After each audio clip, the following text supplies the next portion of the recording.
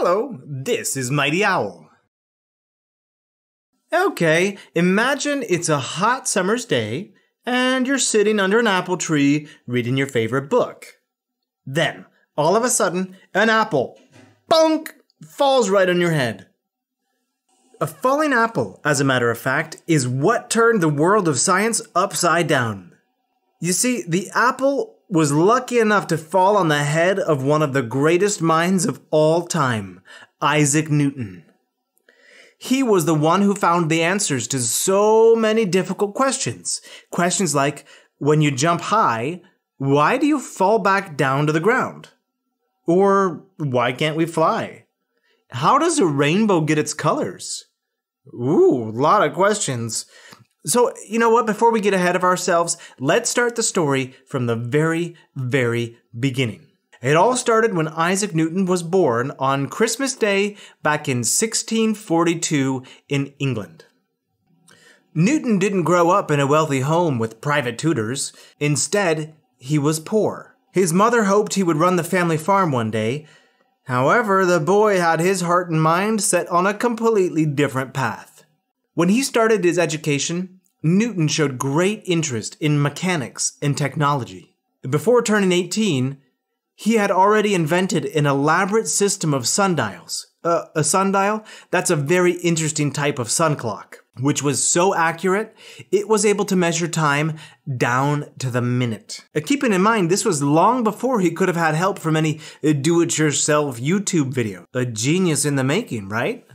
Newton completed his bachelor's degree at Cambridge University's Trinity College. Uh, this is a very well known and famous school. The year was 1665, an important one in this scientist's life. That was also the time of the worst outbreak of bubonic plague in England.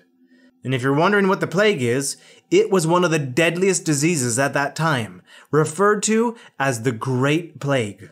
So, because of the plague, the university closed its doors and everyone had to return home and stay there. Maybe this sounds like a similar situation that you can relate to? Those years, despite how hard they were, were also the most productive period of Newton's life. He could do what he loved and enjoyed the most science. It was then that he discovered gravity. In fact, this year in his life is referred to as Annus Mirabilis, which in Latin means the year of wonders. But back to our gravity story. Isaac Newton is sitting in the garden of his home when, an apple falls, hitting him on the head. And that was the moment Newton understood that there must be a force which causes things to fall down. He was able to think of it like a giant magnet inside the earth that's pulling everything towards it. And he was right. This very force is called gravity. And it's thanks to gravity that if your pen falls off a desk, it'll land on the floor and not the ceiling. And it's thanks to gravity again that once you throw a ball in the air, it comes back down again. Or that we can walk on the floor and not just float around in space. Although that might be kind of cool. It may seem simple to us. Who would imagine a ball flying away when you threw it instead of coming back down to the earth? But for the people who lived back then, it wasn't clear why this happened. Newton was the one who explained it.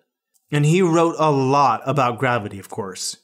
He was able to prove his theory and to illustrate it with examples and even develop formulas. But you'll learn about that in a couple of years. For now, let's get back to Newton's story.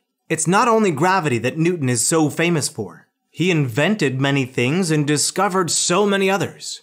Here's one fun story about Newton. They say that he found a way to keep his cat from scratching on the door.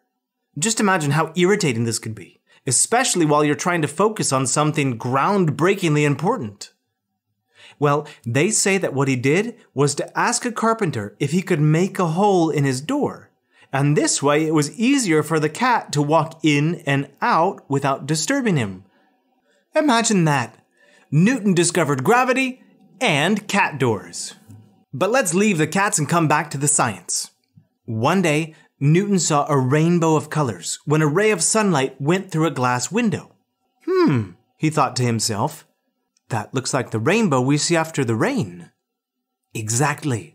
Newton began experimenting and learned that white light is actually made of seven visible colors, otherwise known as wavelengths.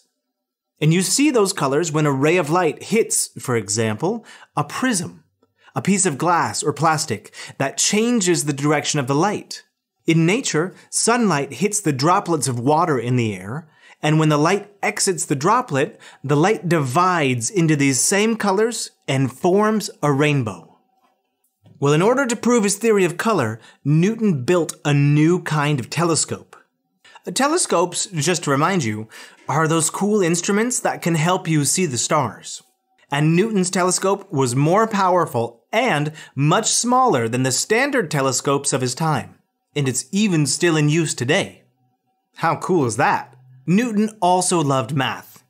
At only 26, he became a professor of mathematics at Cambridge. However, teaching was not his passion. Research was. Newton discovered a new study of math. One that's really important in describing difficult processes. This math is the kind that we still today study at university or colleges, and it's called calculus.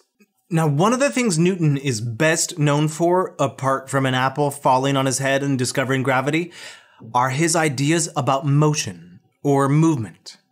Now, Newton's laws are something you'll learn about in detail a little bit later in school.